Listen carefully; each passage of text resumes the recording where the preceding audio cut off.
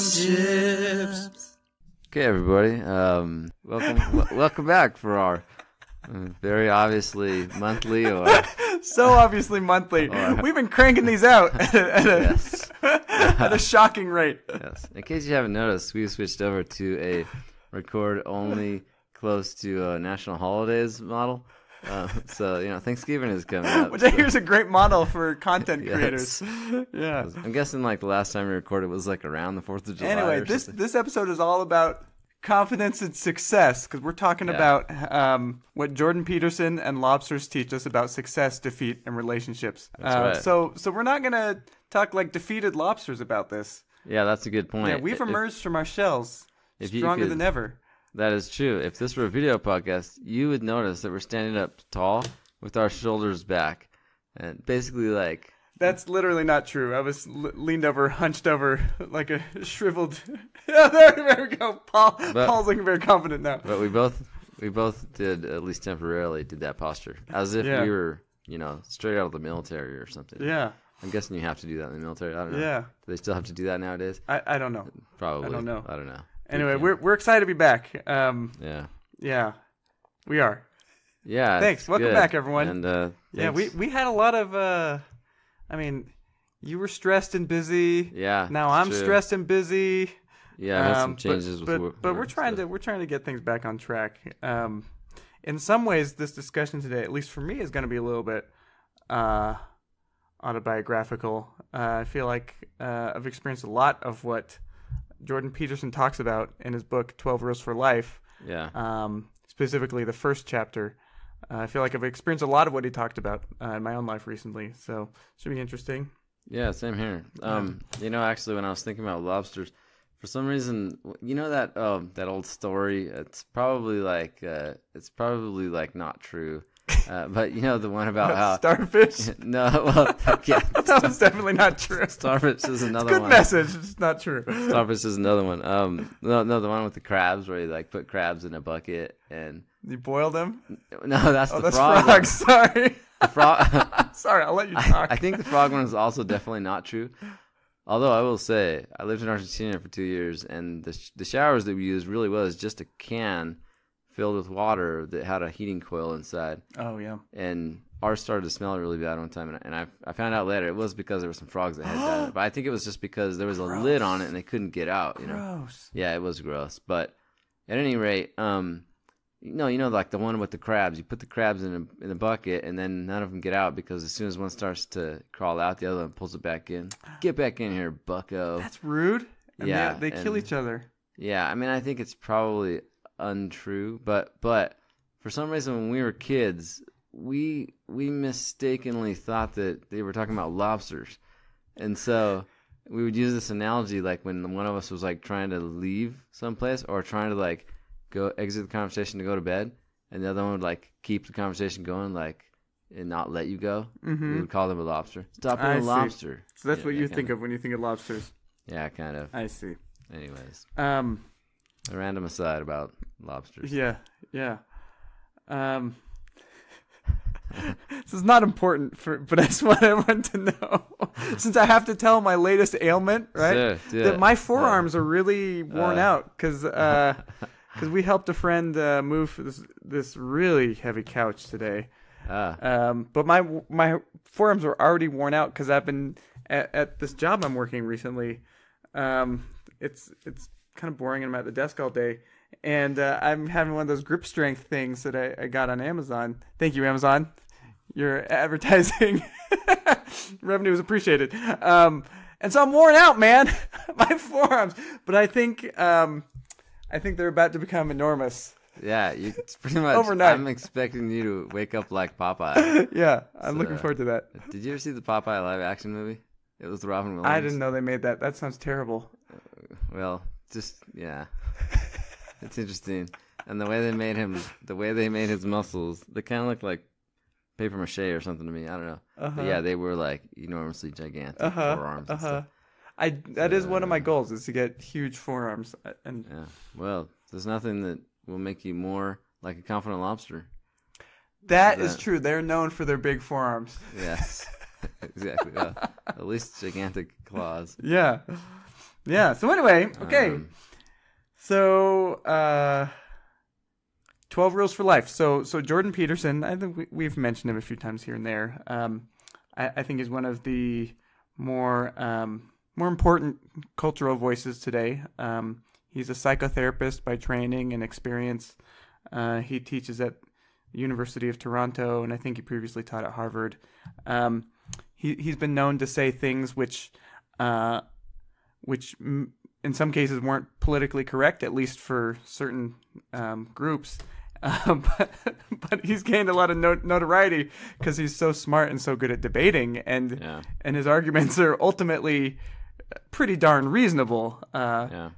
you- know, for the most part, that can be argued. But um, anyway, he says a lot of uh, interesting stuff in his book, 12 Rules for Life. Um, it's funny. It actually, the origin of his book was that he had responded on Quora. Do you know that website? Yeah. Quora. And, um, and, uh, I, I can't remember what he had responded to, but things, that, you know, things about life and stuff. And, um, uh, like the, I can't remember exactly the terminology, but the upvotes or whatever for his posts were like Mm. unusually high for a Quora post. Mm. Um, and so that's kind of like where he first realized that um, people, you know, appreciated what he had to say. Hmm. So Interesting. yeah, Yeah, I haven't read Twelve Rules for Life, um, but I've listened to a lot of his podcasts, and so a lot of the stuff that, um, a lot of the stuff in the summary here was sounded, um, um, uh, it was reminding me of stuff that I've heard on his podcast. so, yeah, yeah. and um, and he- he says a lot of practical, uh, reasoned, uh, and well researched stuff that that have value for people. Um, you know, particularly for people who feel. I I mean, the the subtitle of his book is "An Antidote to Chaos," and and uh, you know, Yeah. a, a lot of what he says appeals to uh, uh, so many people. I mean, he's he's a New York Times bestseller. Um, but but people who you know kind of feel disempowered or like they're drowning in life, and and Yeah. yeah. some messages that, that aren't just like cushy feel good stuff that make you feel good for a day and then, and then nothing changes in your life which a lot of you know a lot of people in his field that is what they offer um yeah, so yeah. He's um, he's. I feel like he's only he's mostly been. thank you jordan peterson Yeah. for right. for paying us just kidding we Yeah, haven't no, received we any of the money from did. anyone go no, ahead uh, for sure. No, not just Jordan Peterson. There's Yeah. no one that has sent us any money. Yeah. Um, but uh, yeah, I think it's kind of funny that he's been kind of controversial because I feel like he's only controversial mostly because he's he has been like misconstrued, um, and kind of things have been taken way out of context. And Well- I think that's part of it, but a lot of his conclusions are just flat out unpalatable for for certain people with with a certain ideological uh, bent. Um, yeah, that's okay. Yeah. Yeah, that's true. That's that's fair. Um, there's been some of both, you know, because like, sure. oh, of course. New York Times. I remember there was a New York Times article. There was a lady that interviewed him. Yeah, I don't think the New York Times likes that he's been as successful as he has. No, they don't Yeah. like it. The BBC doesn't. Like, Yeah. Um, which it's unfortunate. It's it, it it it made me lose a little bit of respect for them for supposedly objective reporting. Like, Right. you know, the lady on the BBC that had interviewed him, that really tried tripping him up. You know, where then they had all these memes like he was saying. I don't remember, but they had these really fun funny ones where it was like,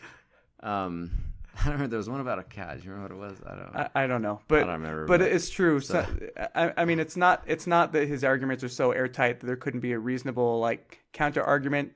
But often, at least in these highly publicized, uh, like you know, interviews he's had with people, like the interviewer, if the interviewer doesn't like them, they're just not well equipped to to to debate him. like they they Yeah. resort to all the all all the weak counter arguments and and and a lot of times um, they probably haven't actually like listened to much of his stuff. yeah, that's that's clear. Like I heard there was one that I was watching that was like some some lady was like yelling at him. He was, I don't remember where he was at, and, and she was like saying something about how he supported Nazis and stuff, and why wouldn't he disavow them or something? Because there were some neo Nazis that uh, I don't remember. That it was like they were saying that some of them liked his message or something. Sure. Like, um, Yeah, neo Nazis eat food, and so do I. yeah, exactly. right. And and he said, "You want a disavowal? Okay, I'll give you disavowal. I, I don't support neo Nazis at all. And I don't, Yeah. and and but still she like yelled something stupid at him and Yeah. whatever. It's like, but she clearly hadn't. By the way, we listened to any don't we disavow neo Nazis as well. yeah, Let's- absolutely. Let's nip that in the bud. That is true. Although Bryce did call me Hitler the other day, I can't oh, remember. sure. Well, you know, what bigger insult and what more apropos uh, insult can you give than to declare someone Hitler? Yeah, I can't remember what the context was. And I did recently buy the game Secret Hitler. I've never played Yeah. it, but I'm going to spend some time Yeah. with family, and I needed a game that plays a lot of people. Anyway, At any rate, we're we're getting off totally we're both interrupting your Yeah. original thought. I know, but I don't remember what my original thought was. Okay, it was. I well, think the we record will show that it was something, and after we listen to this, I think we'll I think I was just saying that like you know if you listen to like a lot of his stuff, you li- realize that like it's just a lot of really reasonable stuff about like hey go, go be responsible and Yeah. do good stuff Yeah, to one get of- your life in a better place. That's right. Like, One of his really rules is, is clean up your room. Um, yeah. yeah. And he We're- uses the word bucko a lot. A- and, there was I couldn't find it actually, but there was um in one of his uh, lectures he was laughing about how somebody had made a T-shirt with something something with a lobster on it. I don't remember, and I think it said bucko on it on the shirt because he talks about these lobsters and cleaning up your room, and he uses the word bucko sometimes. Yeah, he, he's got kind of a very interesting character. Uh, Sure. Yeah. All right. So anyway, so you're probably wondering what the heck are you guys talking about with these lobsters? Um, and it's funny, like it, so in chapter one of of Twelve Rules for Life, he talks about. Um, well, okay, so the the chapter title is uh, "Stand Up Straight with Your Shoulders Back," um, and he, he early on he talks about uh, lobsters, which uh, have been on the earth for millions of years, uh, longer than most forms of life. Yeah, older than trees. Yeah. Um, and, and he, I, I mean, the whole, well, so he kind of talks about how lobsters uh, compete for territory, especially when they're molting and their, their shells are soft, so they're vulnerable. So they have to compete for, for real estate, for places to hide, and there's just not enough places. So, um, so he says that you know naturally they, um, you know, as they compete for scarce resources, they form these dominance hierarchies, um, which have to do not just with not just with you know their habitat, you know, where they live, but also uh, which which uh, you know for males, which female lobsters will will mate with them, uh, you know, food, so that kind of thing. So basically, he says that uh, the lobsters which can defend their turf most successfully are the ones that end up at the top of this hierarchy, and they get the best stuff, the best, uh, the best mates, the best real estate, the best food, um, and that Yeah, basically they get all the mates. Like it's. Oh, it right, right. About how like it's exponentially more worthwhile to be successful. that's right. why you're, you're very aggressive um, because you're like it's it's all or nothing really. Like Yeah. you have nothing to lose. I mean, well, you could die, I guess, Yeah, but yeah, you know, if you win, you get like everything, get all the goods. that's right. And and he naturally he relates that to human beings as well. That, um, you know, we- we're competing. You know, not not always in the same, you know, physical sense, but we're competing for resources, uh, for opportunities, uh, you know, for the good for the good neighborhoods, for the you know the best mates, uh, for the best jobs, and um, it basically um, that's something you see in in the animal world as well as the human world, and and then he talks about um, lobster's response to to being defeated. And he says that you know about half the well I can't remember exactly how often, but it's such a big deal if two lobsters get in a fight because they could die, you know. And even if they don't die, if if one is badly beaten, uh, especially if it had a higher position before, then its bla- brain brain its brain literally like reforms, Yeah. and um, and in particular, uh, its balance of of two neurochemicals uh, shifts dramatically. So it's serotonin and it's octopamine, um, and uh, he he describes it. Uh, so a lobster with high serotonin and, and low octopamine is the one that is a victorious lobster, and then the reverse for a defeated lobster. So the way he describes it is that a lobster with high serotonin and low octopamine is a cocky, strutting sort of shellfish, much less likely to back down when challenged. Um, whereas for the opposite, uh, you know, the defeated lobster Uh, it produces a defeating looking, scrunched up, inhibited, drooping, skulking sort of lobster, very likely to hang around street corners and to vanish at the first hint of trouble. yeah, exactly. Really interesting. Uh, and um, you know, a- as we know, um, with, with modern human medicine, um, you know, ser- serotonin is one of the neurotransmitters uh, highly um, relevant to to depression. Um, and he talks a lot about depression in this chapter too, but um, in this chapter as well. But but essentially, uh, it's the same kind of thing going on. Someone who's felt defeated, um, you know, who's been mistreated sometimes very badly, or mis- been passed up on a big opportunity, uh, you know, been in a painful breakup. Uh, these are all the kinds of things that can shift our neurochemistry. Uh, like, like for humans, we don't have octopamine, but but dopamine apparently is, is similar to that. But uh, at the very least, it's the serotonin. So you know, for humans, when when our serotonin is or when we're defeated, that has an effect on our balance of serotonin, which which also has an effect on uh, our mental health. Um, There was So- an, um, yeah, it's very interesting.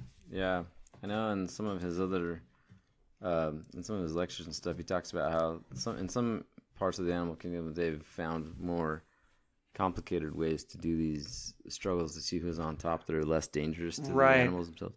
Wolves is an example where um, they um, they'll get in a fight, but when one of them is like basically defeated, the other one puts its jaws on the other one's neck, and then and then they stop the fight, and then it's like, okay, you see that I could have killed you, but I'm not Uh, going to kill you. interesting. Wolves do that. Wolves do that, Interesting. and they say because it's better for the pack that we both Yeah. stay alive, right? Because we can hunt more animals if the both of us are alive. So Yeah. I win, and we're still friends. Yeah, kind of yeah. Thing. It was interesting. That is stuff. interesting. Yeah, and he talks about a Um, similar kind of thing, just that like with primates, for instance, ba- basically, yeah, with with lobsters, it's whoever is most physically dominant get wins and gets the best stuff. But you know, for more complex life forms, yeah, there's a it's it's more complex, and he talks about primates how they're not necessarily the the most successful. What was he talking about? Chimp. The most Yeah, brutal chimp isn't necessarily the one that that um, stays in control. It's the ones who can uh, form reciprocal coalitions with their lower status compatriots, and who pay careful attention to the troops' females and infants. Uh, yeah, this sentence is great. Where it Yeah. says the political ploy of baby kissing is literally millions of years yeah, old. But that is Yeah. true. I remember watching a documentary about chimps, and they really are. They can be very violent against other tribes of chimps Yeah. and whatever and stuff. Um, but yeah, basically his point that like it's not like the strongest male tyrant. Once you get to more complicated creatures, like yeah, it's not, and that's the same way in humans as well. Like Right. it's not like the most powerful tyrant that because you get enough less powerful people, they'll Yeah. take the tyrant down. You know, Yeah. it's just like they can't stand the guy, and it's like he's ruining aspects of society or whatever. sure. Um, yeah, Now that being said, the ones who overthrow the tyrant, they don't stay on top either, unless they Yeah. learn the same lesson. right. Yeah, exactly.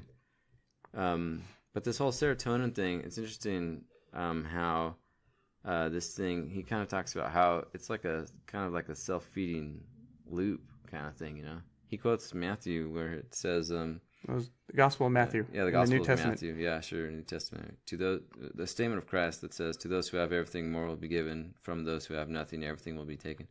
I, that's probably different than like the King James version Yeah, I'm used to, but Yeah. um, which is something more like to I don't remember how it states it exactly. But Anyway, it's, it's the idea that those who have more will be given more, and those are Yeah. yeah.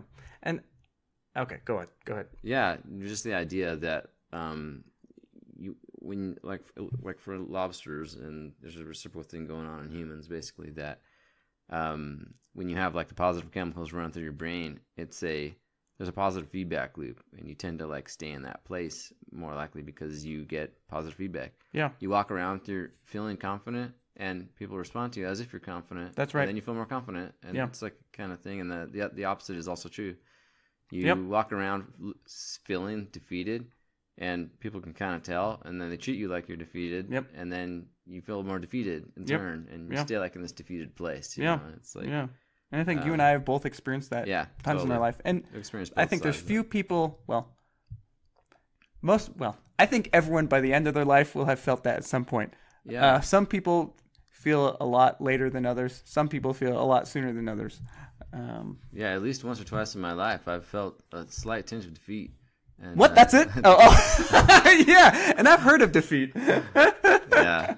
I Once or certainly had twice. some. I've certainly had roommates and neighbors who seemed like Oh yeah, yeah, not me. And I was like, Hi, serotonin, top lobster Yeah. right here, always. like, whoa, tell me about that. That sounds horrible. All right, I gotta get back to my confident, positive life. That's right, and winning and everything. Yeah, no, absolutely felt like both sides of both of those. You sure, know? sure. you know i've uh, you know um for for example even just like in a micro example of this i feel like for example when i go to some social gathering and i have like a few good like interactions at the beginning of the gathering or whatever i feel like the rest of my night is like it's a positive social experience for Yeah. me and it's probably because i'm feeling more confident and coming across more confident Yeah. and all that kind of stuff and i feel like the opposite has been true as well you know i have Sure. like first few kind of not that great experiences Sure. it's kind of like yeah i kind of Yeah. like want to get out of it Yeah, You know, but I, I, I would it. argue that also like your general state in life, your Yeah. existential state has a big impact on that as well. Absolutely. Um, yeah. Yeah. But but but yeah, for sure. That, Yeah. That's true. Yeah. So he talks about um like this very ancient part of our brain. Uh, apparently, it's at, at, at the base of the brainstem um, that that keeps track of our position in in the existing dominance hierarchy. This is talking about humans, but uh, presumably also lobsters. Um, and he, he describes it as a master control system that modulates our perceptions, values, emotions, thoughts, and actions. Um, um, yeah, basically, like you said, it's paying attention to how we're treated, and then it it with restricts or or uh, uh, releases uh, serotonin as necessary. Um, so it's, and, and and there's there's a um, you know there's a physiological function to that. Why are you why are you smiling like that? I'm just remembering a story that's like, but go ahead, finish okay, okay. Yeah, I mean, there's a physiological reason for that and, and survival uh, purpose for that, which is that um, w- when we have less serotonin, we're more on alert. Uh, I mean, we're more stressed out, but we're also more primed to react to to threats and danger. And you know, if if we remain in that state a long time, then that that becomes depression or anxiety. Um, but but there is, you know, there's survival and evolutionary value to that as well. It's it's that we're primed to keep ourselves alive in the face of, of threat. Whereas for someone, Yeah. it's interesting because this is it's about chemicals and it's also about you know perception and the two are linked. But for for someone with high serotonin, you know, not you know in in the general uh, in the general place. Uh, they don't react to the same threats in the same way. It's it's Yeah. not as big of an issue for them. It might just be like a, a blip in the radar or a, road, Yeah. a speed bump. And you know, I've worked with I work closely with a person that um, uh, who was very stressed, um, and uh, and I, I saw this kind of phenomenon play out where small things would would cause this person's all the all the cards to come crashing down in the house. Um, you know, and and it was it was from my view, who was not as stressed, uh, it was an, it was a gross overreaction. But to this person, it was, um, you know, it was they were they were primed for, to react this way because they were so stressed out about things. Anyway, go ahead. What were you- Yeah. Well, one of the, what you said reminds me of this quote: um, "The poor and the stressed always die first in greater numbers. They're much more susceptible to non-infectious diseases like cancer, diabetes, Oh, and heart yeah. disease. When the aristocracy catches a cold, as it is said, the working class dies of pneumonia. Yeah, Um, yeah, man, it's bad to be on the bottom. Um, yeah, Yeah, it's just when you were talking about, um, uh, you know, knowing your place in the hierarchy kind of thing. I remember, uh, I think that's especially a kind of a male kind of thing too. Like, um, I remember hearing a. a I'm uh, not so sure, but go ahead. Okay, it might not be. Um, but um, you can offer some counterpoints. Uh, but I remember uh, being at like this little conference where Matt Townsend was talking about the top three reasons why females communicate, like their purposes in communication. Hmm. The top three for males. And for Matt males, Sa- like, Townsend, he's like a yeah, he's like a coach and he's a HR expert dude, something, like something that. like I've heard him speak. He's very good. I can't remember. Anyway, go on. was a good speaker. But for males, like the top one was, uh, was um like kind of knowing your place in the pecking order. Kinda How Interesting. you stack up against the other guy. Interesting. It's your. It's the. It's the main reason. Uh, it's the main thing you're trying to figure out when you're communicating with other guys. I guess. Oh, I don't know about it when you're communicating with women, but um, and like the last one was like it was like the top three. The third one was like to, to connect, you know, or something. For women, like connect is like the top one. it was like know your place in this in the hierarchy, um, gather information and connect. Or Yeah, yeah. I can't remember which one was the Yeah. top one actually. The top it was either it was Yeah. either the top one or the top second Yeah. one. Well, I It was the pecking order. I mean that sounds right-ish to me, at least. I mean, I'm not the expert he was, but um, but I know for like for me when I talk to to my roommates, usually it's to make jokes or some say something meaningless. It's not even about communicating anything useful, and and maybe that's part of it too. It's like I don't know, making sure that we're still like peers in the same level. I don't know. Yeah. It's definitely not to communicate anything meaningful in most cases. it's often not a huge amount of connection either. I know Yeah. we've talked about on this on this podcast about how as a guy, you can have two guys can have like the most serious, intense discussion of, of their life, and and like it might last like an hour, and then they like barely glance at each other once. You know, like you know what I mean? You know, as their eyes like look at each other for like one microsecond. the whole rest of the time, they're both like looking straight ahead. yeah, yeah, and, Um, and not so with women. yeah. But when I was on, on average. yeah, when you were talking about pecking order, though, it was reminding me. Um, I never mentioned pecking order. How you dare you? You Straw man argument. You mentioned hier- hierarchies. so now I'm gonna knock down this straw man. Yeah. Uh, no, because like uh, when I was um, one of the places I lived at, we had urban chickens, and um, they, they literally established their pecking order. Like every time. Is this a thing? Urban chicken? well, you know, it was like we lived in the city, but we had a bunch of chickens in our I mean, is this a phrase? If I look this up on Google, Yeah, would it be I- urban chickens? Would that I, be a thing? I think so. Hey man, in Phoenix, so I lived in Phoenix for a long time. Like in Phoenix, they actually have a place called the Chicken District. And Oh, wow. There's chickens roaming wild. That is weird. the- they're like protected in this area. Weird. And yeah, there's like little groups of chickens walking around. It's kind of like Hawaii. In Hawaii, you have that too. Like Huh. it's just chickens. But but anyways, um, I'm not sure how the chicken district got started. I suspect that it's just that some people didn't want to take care of their chickens, so they let them out of the Yeah, and they were left unchecked, and now yeah. they're we- subservient to the chickens. Yeah, but occasionally we would like get a new chicken and introduce it into like our flock or whatever. Oh, because you had your own flock, right? we had our own little flock, I guess. I guess Yeah. I never really called it a flock, but at any rate, um, and every time you would introduce new chicken, there would be a whole new establishment of the pecking order to see like Uh, where does this chicken fall. Yeah, how tough is this chicken? Yeah, you know, and sometimes some chickens. I was just the reason I was smiling earlier is because I was remembering that we introduced this one chicken, and it like and the top chicken that was the chicken before was uh, uh was named Sonia, and um she was like a red hen, and and so she goes up to this the new chicken to like kind of like tell her what's up, and Uh huh. and and this new chicken like really fought back with like a you know she really like stood her ground and was like you know, Uh-huh. don't, be getting all up in my grill Uh huh. kind of thing. And and I was just thinking, I was trying to remember what that chicken's name was, and, and in my mind I was thinking it was Cheetara, and then I was like, did we really name a chicken after a thundercat? I couldn't remember. We may have. Um, anyways, and I wrote we, we had a lot of chickens die unfortunately because From not pecking from, order not stuff. from pecking Oh, order okay. stuff, but from like just random chicken sicknesses and uh, stuff. And maybe because they were on the bottom of the of the order. Yeah, it's possible. And I I don't know. I don't know. Everyone, I mean, all, all all chickens and all humans, even the top lobster dies, right? At some point. They did, and every time a chicken died, I wrote a chicken obituary and uh, and kind of emailed it out to the roommates and to our next door neighbors who who were kind of helping us out with the chickens. Uh huh. So I'm gonna go look that up later. And see Okay. if her name Well, really well, was that was a delightful anecdote, barely related to this, but delightful It- it- nonetheless. yes, it was barely related, and I make no claim that that was. yeah, that's okay. Um, but anyways, the pecking order thing though really is uh, it is a real thing in the animal kingdom. You know, it, it was Yeah. a real thing with the chickens. Yeah, uh, and you know, it, it, in a, in a different way, uh, it's it's a thing with humans too. Yeah, Um, you know, I, I don't know if we've talked about this much, but uh, if not, we will at some point. But just as far as like, I don't know, did we talk about this in attractiveness? Just the fact that like for women, uh, a man's social status yeah, is more of a factor in like determining whether they're attracted to him or not. yeah. Uh, and a lot less so for men. Um, Yeah, and know. a guy can feel because of that. A guy can feel uh, big shifts in how attracted women are to him in Yeah. different social settings.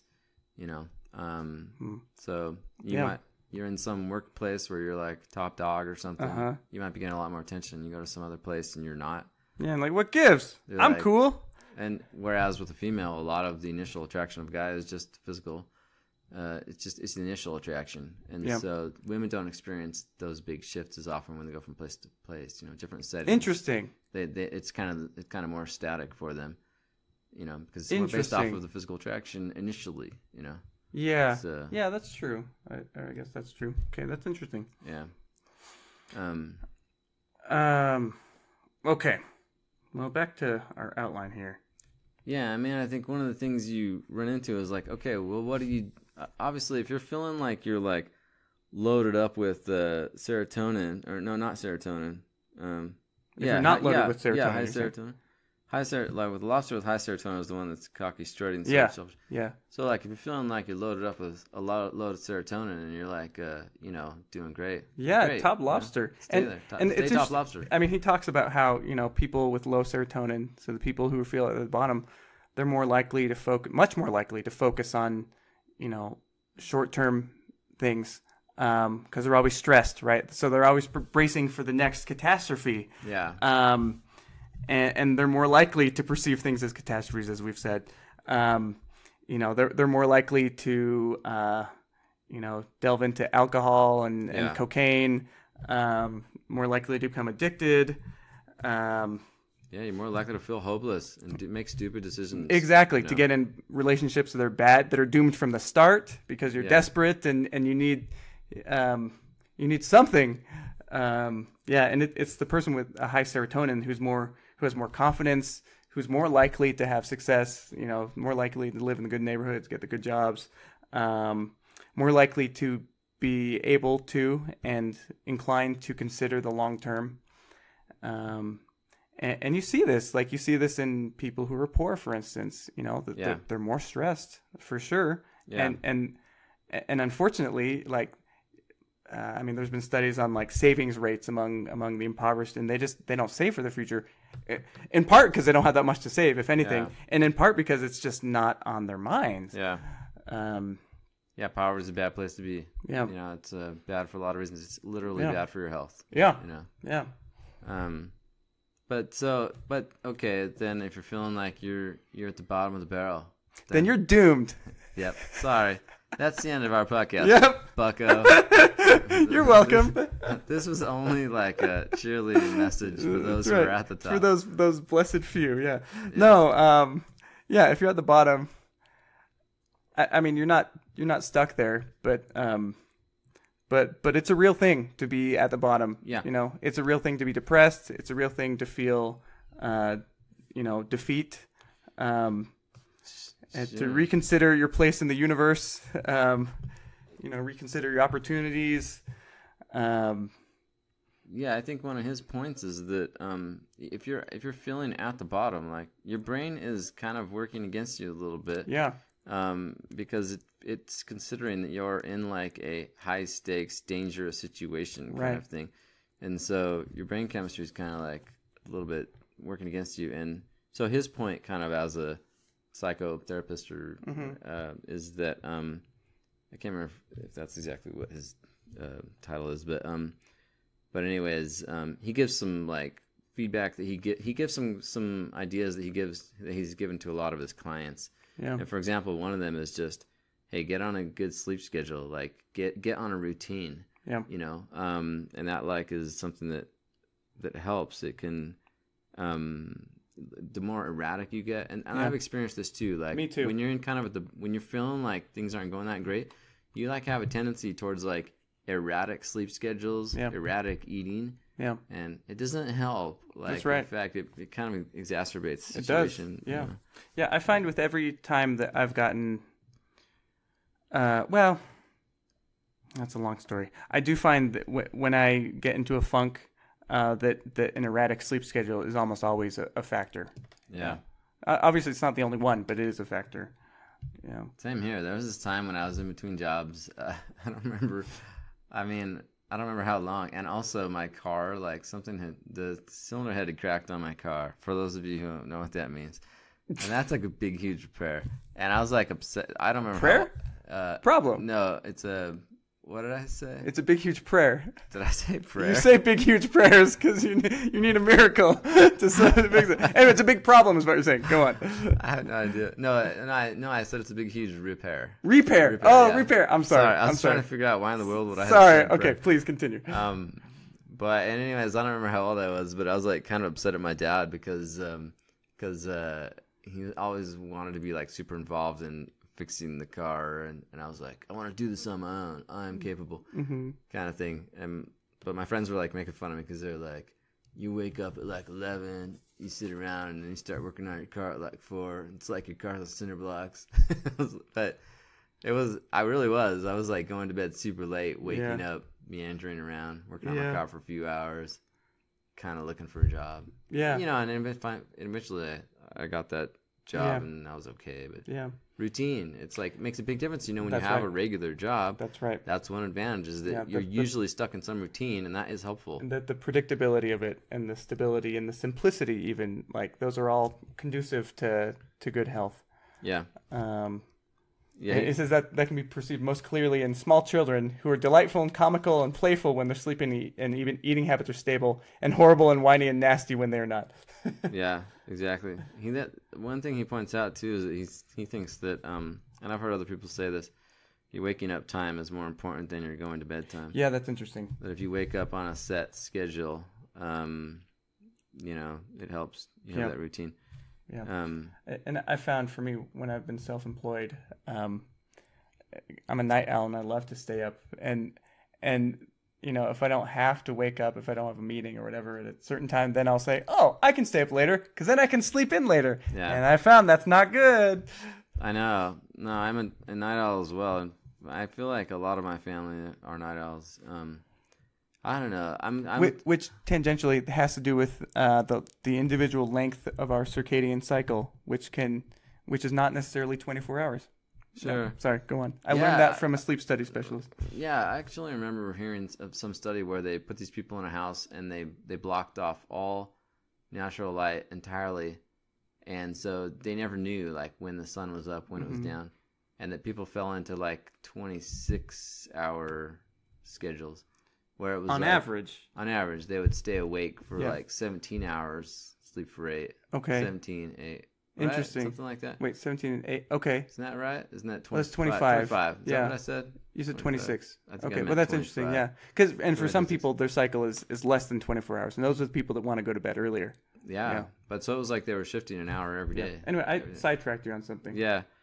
Um, I don't remember what. what Well, Exactly the record will show this as well. That when Bryce interrupted Paul, that he was going to say something profound about something else.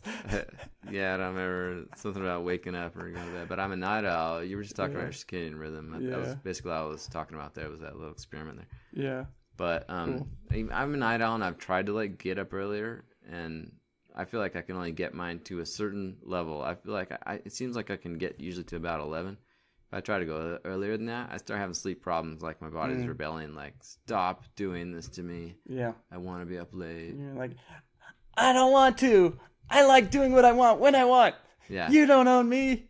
The, the way my body will rebel though is that it'll let me sleep for the first four hours, and then it'll say, "Okay, now I'm gonna wake you up for three or four hours in the middle of the night, Bucko." and now what are you gonna do? You're too tired to work. Uh-huh. You're just gonna lay here and be miserable. And you're like, okay, I relent. Yeah, I'll go to bed earlier. No, no. Then I'm like, okay, I'll go to bed at midnight again. I'm sorry, I'm sorry. And I'll go to midnight and I'll sleep good straight eight hours. there we go. My body's like, thank you. Yeah. Uh, my circadian rhythm. You know, Yeah. Nice. I don't know. So anyway, okay, so so that's one of the things he recommends, you know, for for getting out of depression and Sure. I think priming yourself to like get out of the bottom really is is have some you know a predictable schedule, especially when it comes to sleep. Sure. While we're on, before we move on to the next topic, while we're on the topic of waking up, uh, might I put a plug in here for? Um, Our next sponsor? No, I don't know. yes, exactly. Alarm clocks. Alarm clocks. no, this is a, this is also an unpaid uh, advertisement. Um, but I've heard that. So you know the way your sleep rhythm works is that you know you go in and out of these deeper uh, cycle. You're going through these cycle sleep cycles, right? Yeah. And so you're going in and out of. You go into REM, and then you go into deep sleep, and Mhm. then you go back into REM, kind of thing.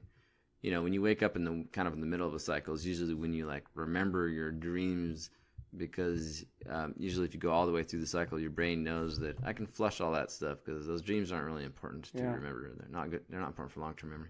But I've heard that when you get j- a sound alarm will jerk you out of a deep sleep Mm. or out of REM sleep, and you'll often wake up feeling less restful. Yeah. Whereas some kind of alarm that will wake you up when you're at the top of your sleep cycle will you'll wake up feeling more restful because if you like finished another complete cycle, I think each cycle is like about an hour and a half. And so like for example, for a while I was using a light alarm when I needed to Huh. wake up at a certain time and I would set it for about like a half hour before I actually needed to be up just in case. But to give me like about a half hour window and all it would do is turn the light on and then I would just wake up Your room lights, It- or does it have its own light?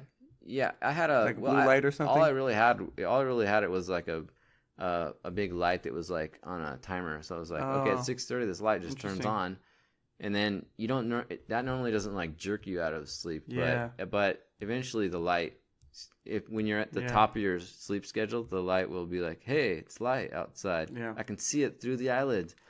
it's like even though they're closed, it must be time to wake up. and then it gives you all the the wake up chemicals, do. Mm-hmm. and and in your mind the birds start chirping, and then you like leap out of bed. Uh, That's not exactly how it goes, but it's a little bit better than. And, and then the little birdies come in and, and they bring your clothing to you. Yes. If you're Cinderella, I guess. But it's definitely better than like like there's this skit I was watching this comedy skit and it was like the guy who invented the alarm and they were like and he was like and what the first guy was like yeah we'll make it soothing music and the other guy was like no we'll make it this noise eh, eh, eh, eh," Uh-huh. which is like what a lot of alarms are it's Yeah. like super annoying yeah, mine is. It's annoying. so anyway that's just a Yeah. plug for and I found that, alarms that uh, Paul is so photosensitive. He's like a plant that, um, and, and actually I do this now too. but like he blocks, he has these light blocking curtains, and if one photon reaches his eyelid and like squeezes through his eyelids, then that'll like wake him up immediately. yeah it's like time to wake up it's true I do have like um I have like electrical tape over like every electrical light in my room and so that the lights don't. Yeah you know what's what, Yeah. another thing even even my like desktop computer Uh huh. um so the you turn it off but there's a, there's some little light in on there that's still on if- when I've got it plugged in it's like Right. some little green light in there I'm, I don't know what it is but anyway so what I ended up doing in the end is I like actually just put my entire desktop on a power strip so I actually like cut off the power to my desktop so that, Oh. that little light goes off too Yeah. um Interesting. But anyways, but you know that's actually one thing that's supposed to help you get better sleep is Yeah. you know make your environment really dark. you Yeah. know, make it like a cave. Yep. Basically. Cold and dark. Yeah. So Anyway, okay, good one. So Mm-hmm. regular sleep. Uh, okay. The next thing is he says is is to get a breakfast, eat a breakfast that's high in fat and protein and low in sugar. Uh, and this is something that pe- people more knowledgeable and, and experienced could talk to more effectively than us. But yeah, essentially, like we all know, your diet affects how you feel, um, and we know that Yeah. we live in a carb-heavy world. yeah. Uh, carbs are they're cheap, they're plentiful, they're easy to obtain, and they taste good, right? But but they cause our blood sugar to spike, and then we have a dip, and then we feel terrible afterwards. And this is actually with this job I'm working now. This happens to me a lot because they try to incentivize with us with food, and unfortunately for me, that's very effective. Um, at least in getting me to eat more food. Well, yeah. Anyway, it's effective, um, but it's not healthy. yeah. I Uh, yeah, no, I'll feel terrible by the end of the day. Um, yeah, yeah. Me too. Like um, definitely. I don't know. Maybe that's more than just blood sugar. maybe it's deeper. But sorry, go ahead. Yeah. Well, no, I'm a sucker for like if there's like a donut in the counter on the morning, then it's hard for me not to eat Yeah, it. You know? but donuts, presumably, those are high in fat. They And- are high in and They're probably high in sugar, high in sugar, too, too. But yeah, I was just telling Bryce today because we helped somebody move a couch and they uh, they gave us dinner afterwards, and um, they gave us donuts for dessert. And, and on the way home, I it said, it was the strangest thing. the strangest thing, my donuts disappeared. They kept having one bite at a time. Yeah, and like I kept, I was driving us home, and I kept looking over, and like, he's like, and Paul's like, "What the heck happened?" And then someone had come and taken a bite one bite after another from his donut. They were magic donuts, and you know, what was even strange about it is the person was so sneaky that they left a little bit of glaze on my lip. they, they framed you.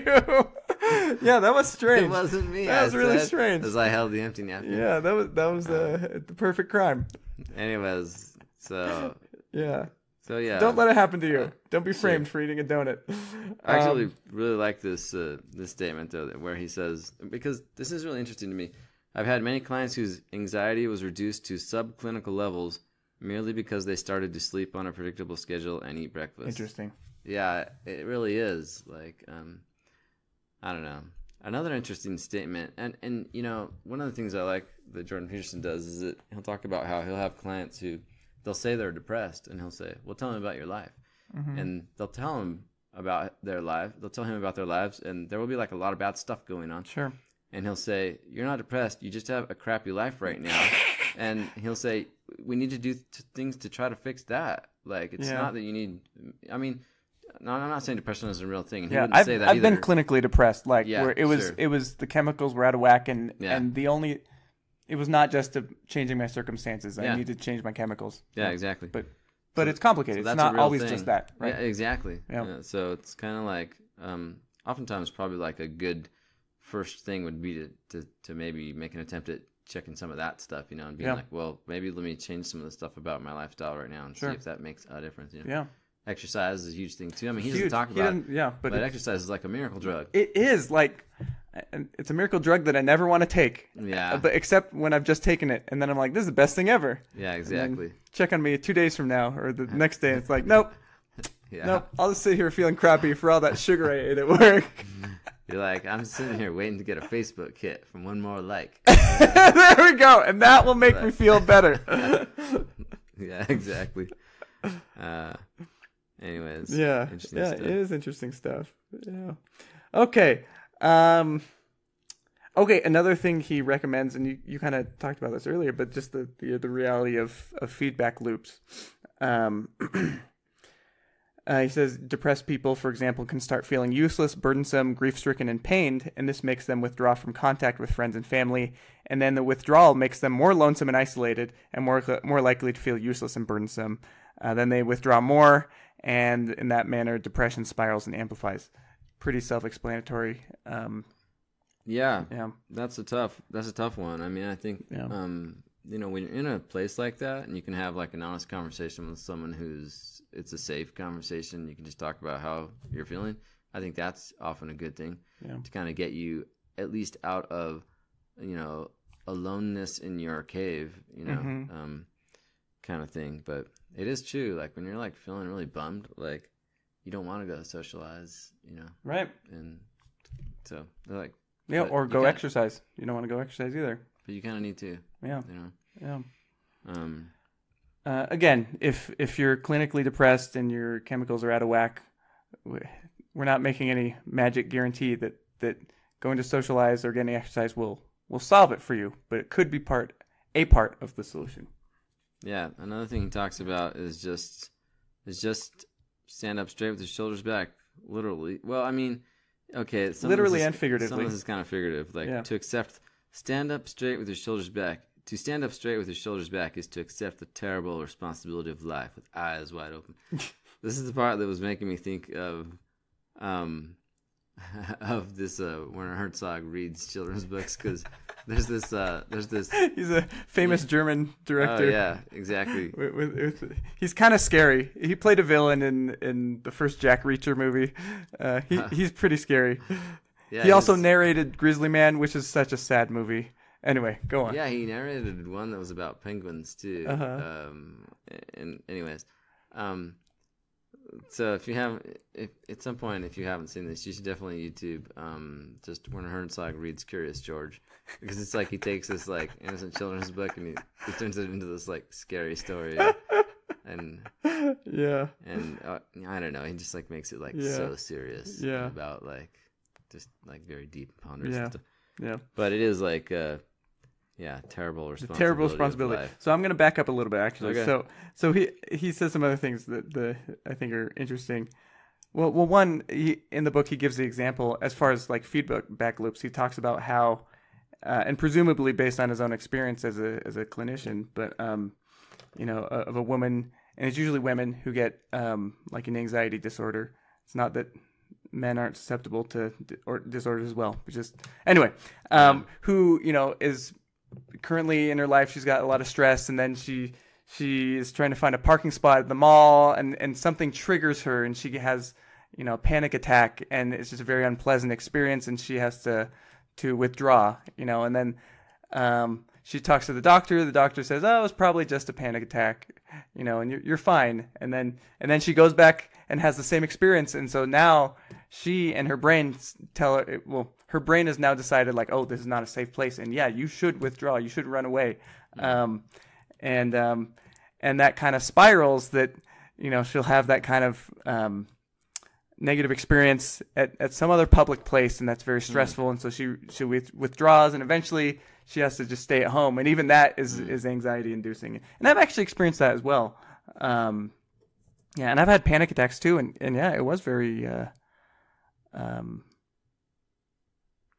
uh scary and uh Hmm. i mean fortunately it didn't turn into agoraphobia for me but Hmm. um And that's what. That's the one where you just stay home all the time. yeah, agoraphobia is fear of public places. Okay. Yeah, yeah. Um, anyway, so that's interesting. Okay, and he also says this. He says, and I appreciate his directness on this. You know, it's it's but it's it's hopeful directness. He says maybe you're a loser. You're talking to people who are at the bottom, you're bottom lobsters. He says maybe you're a loser and maybe you're not. But if you are, you don't have to continue in that mode. Uh, maybe you have a bad habit, or maybe you- you're even just a collection of bad habits. You know, maybe you were bullied. Um, maybe you've had you know some some truly uh, big setbacks, um, but you don't have to continue in that in that kind of mindset and that kind of state. Um, circumstances can change, and and your mindset can change as well. Um, Yeah, he often gives this uh, idea of like if if you need to start somewhere, just start by cleaning up your room. You know. yeah. Um, I think that's kind of become kind of a funny meme that people kind of joke around about a little bit. hmm Um, but and I and maybe there was one of the lobster T-shirts that was like also talking about cleaning up your room or something.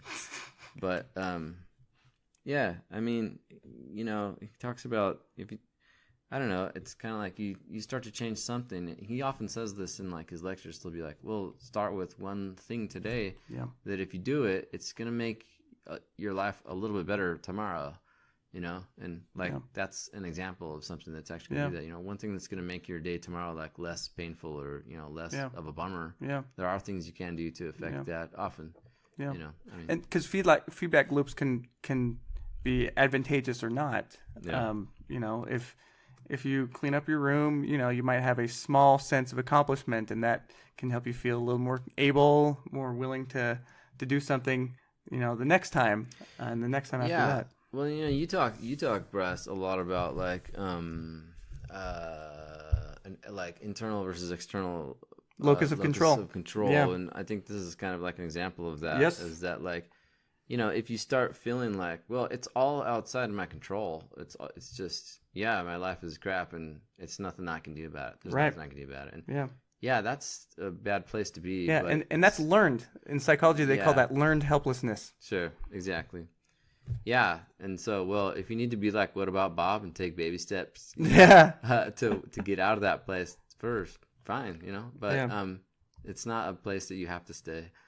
Um, I remember one time I was reading um, uh, Seven Habits of Highly Effective People, you know, Mhm. and that uh, there's a lot in that book that's about like just taking control of your situation and Yeah. doing things like setting goals in ways that like no, you're in charge of this and Yeah. you can affect it and.